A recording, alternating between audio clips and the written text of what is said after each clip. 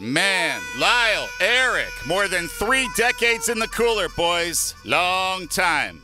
But look on the bright side. You get to meet Kim Kardashian, and she's cool. Kim Kardashian met up with Eric and Lyle Menendez at a San Diego prison to basically talk prison reform. She met with them and other inmates to talk about Green Space, a plan spearheaded by Lyle Menendez. The idea is to make prison yards a little nicer, a little greener, a little more conducive to rehabilitation.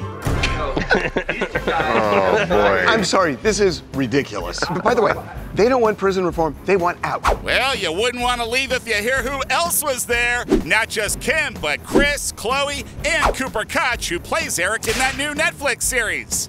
Which Eric blasted as naive, inaccurate, and slanderous. Still, This is Kim's thing. She's really into prison reform. No, she's really into publicity. Yeah, like Because they're obviously all anyone's talking about right now, so all of a sudden she's talking with them. she attaches herself to any high profile. Gypsy Rose, the Menendez brothers. The real Menendez story is there is a real chance that they're going to get a new trial. last trial, the judge limited testimony about the sexual abuse claims they made against their father because it was just their word. The new trial they might get is based on Jose Menendez may have molested someone related to Menudo, the band that he helped manage. which then means that there might be a pattern. And if they get a new trial and it goes the way they want, they could get out. And all they want is a bit of green grass in their prison. They want out. They want green grass in the valley. Well, Van Nuys is lovely this time of year. Great to see you, Kim. Keep up the good work.